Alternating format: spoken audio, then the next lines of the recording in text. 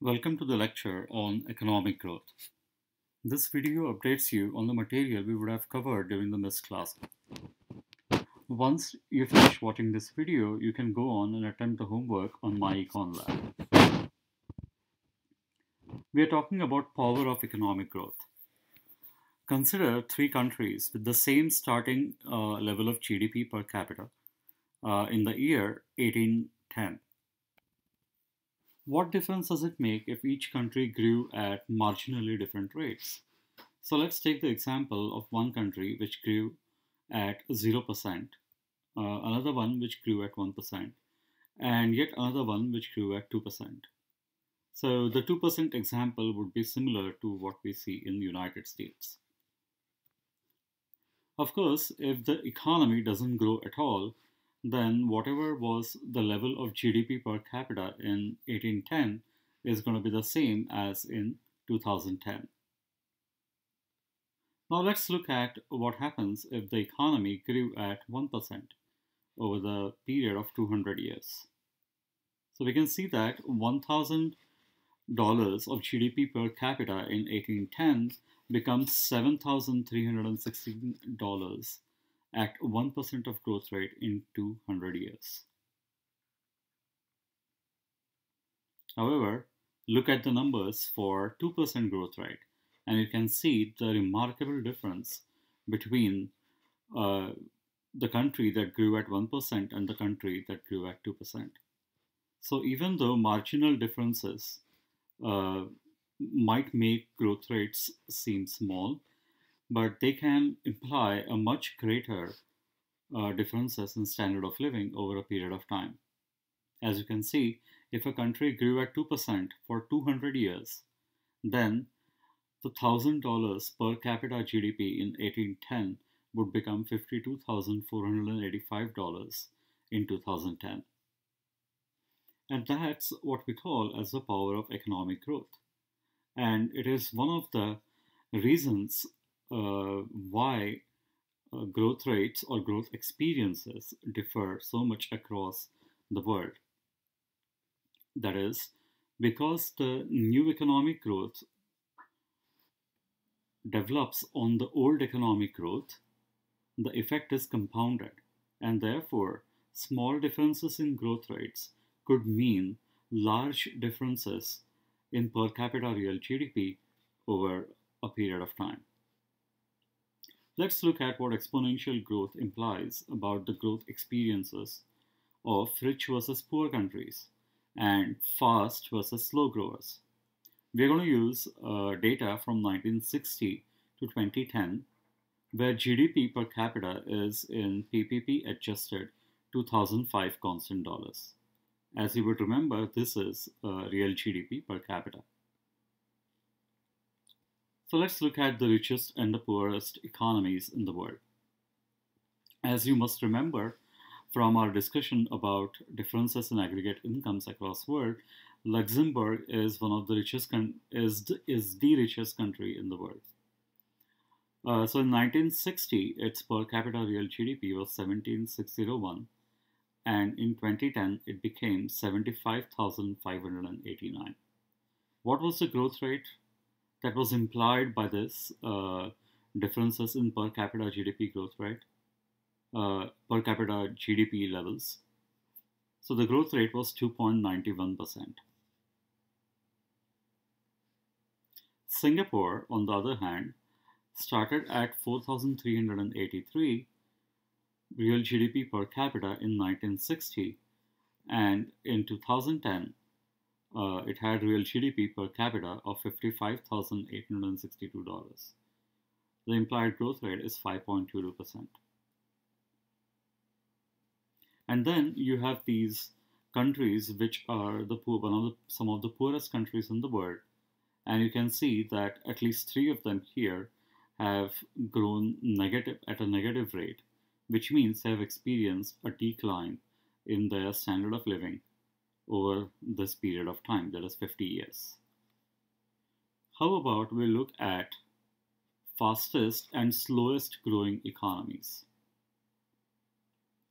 We know that the fastest growing economies like Singapore, Botswana, South Korea, Taiwan and Equatorial Guinea,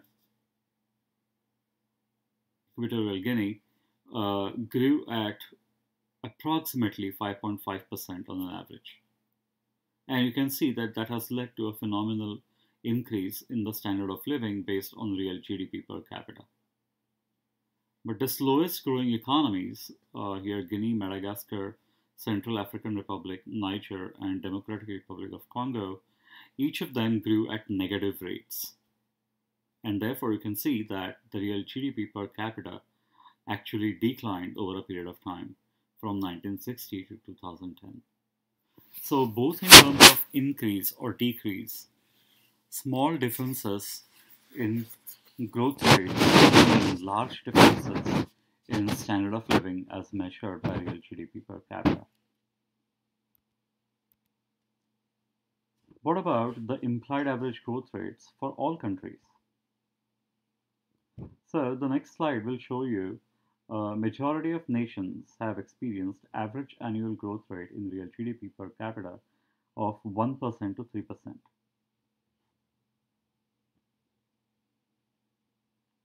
So you can see that uh, up to 3% of growth rate, uh, you mostly have all the developed economies. And then uh, towards the bottom, you basically have the slowest growing or uh, economies or countries which have negative growth rates. On the higher end, uh, on the other hand, about 3%, you basically have the emerging economies like India and China, and the countries which have grown at a very high rate for the last 50 years. So, what about the longer time periods? So now we're going to look at the data that was collected by Angus Maddison, uh, after whom the project is named as the Maddison Project. Uh, he estimated data uh, for very long historical periods, but we are going to look at a period after 1820 and try to figure out what are the implied growth rates uh, for a few of these countries. So let's look at UK, for example.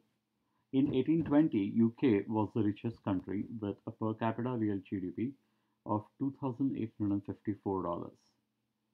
In 2010, uh, its per capita real GDP went up to $32,722 and the implied growth rate for the whole 200, 190 years period was 1.29% and for uh, just 90 year period it was 1.85 what about the united states? Again you can see that there is a really very small difference between 1.85 and 1.91 or for example 1.29 and 1.65 though this difference is greater than this difference they still both less than 2 but you can see the difference that it has made for United States for example US ranked second in 1820 and today it has at least $9,000 more of per capita real GDP compared to England or UK, which was ranking first in 1820. All right, so what's the takeaway?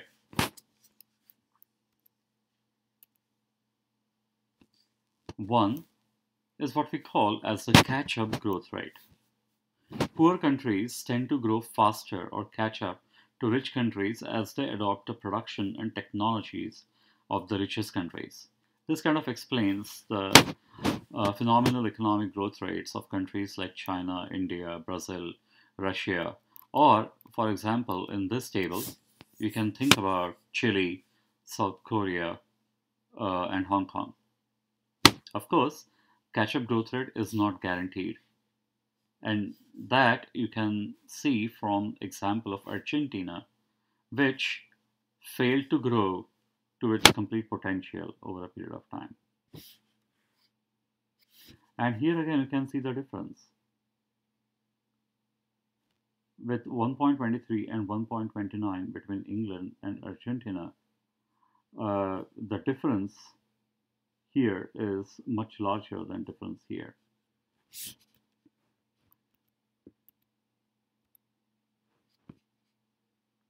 So catch-up growth rate.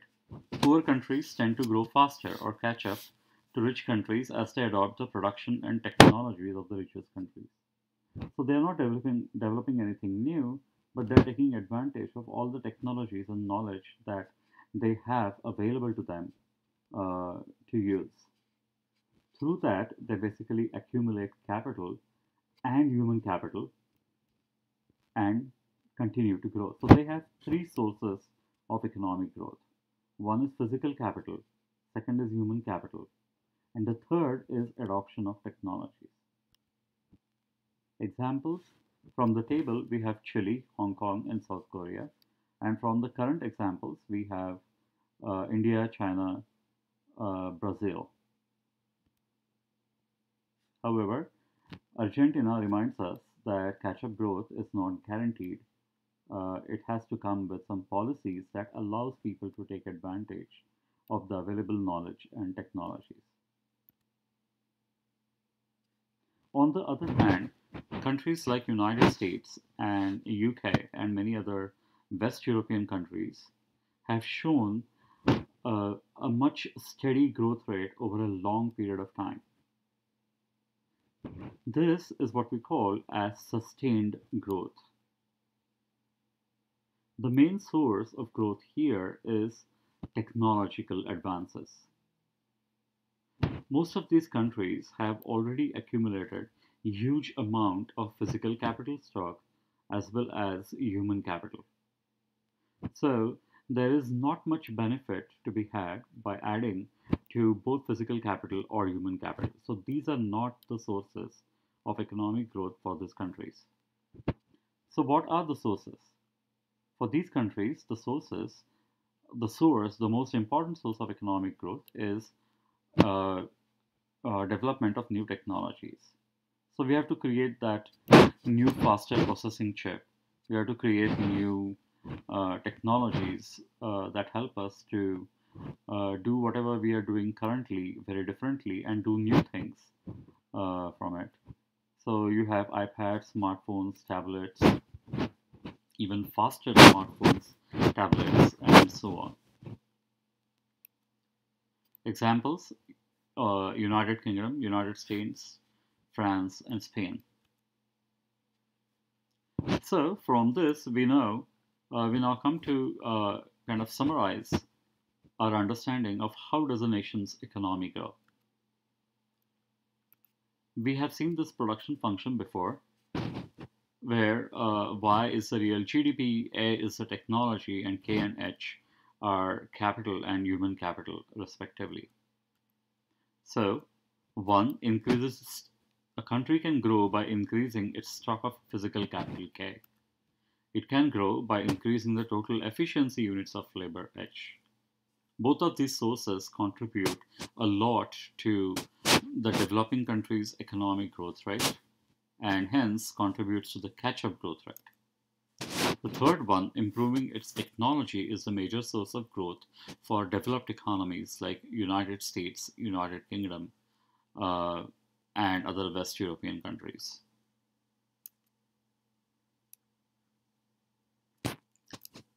So how does a nation's economy grow? Let's think about capital accumulation. So consider a simple economy where there is no government, no exports, no imports.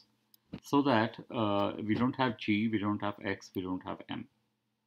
Therefore, on the expenditure side, you just have Y is equal to C plus I.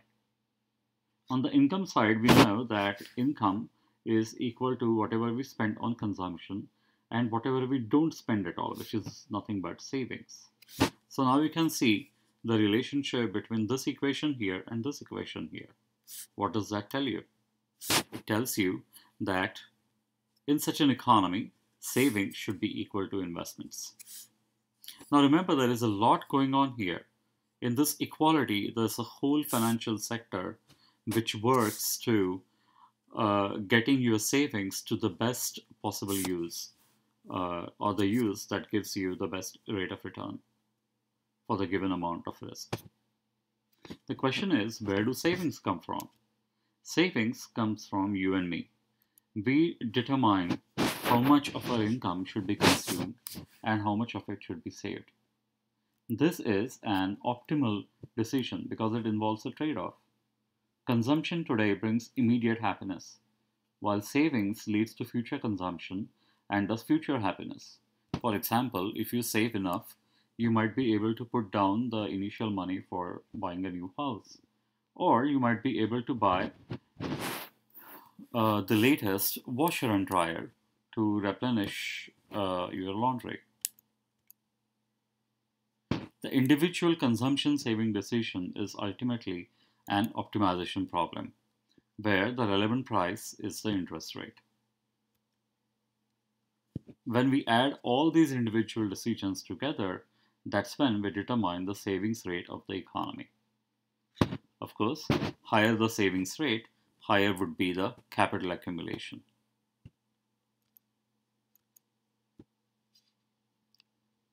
Of course, physical capital by itself cannot generate sustained growth because it has diminishing marginal product. The same would be for about uh, human capital. Given the human, uh, given the physical capital, even human capital has diminishing marginal product, and therefore they cannot be the sources of sustained economic growth. They would allow you to catch up, but to in order to grow after that, you basically have to uh, develop new technologies. So look at this picture. We started with candles and today we have the most advanced lighting technology. Well, what does that really mean in terms of technological change? Technological change is the process in which new technologies and new goods and services are invented, introduced, and used in the economy. Such change can generate sustained growth. As an example, look at uh, the price of light over uh, 200 years. In 1800s, uh, to have 100 lumen, 1000 uh, lumens of light, you would have had to pay something close to $800. And so you can imagine that very few houses would actually have electricity or could afford electricity. Today, we pay less than 10 cents to get that much amount of light. And therefore, we have many more things possible uh, because of this technological progress.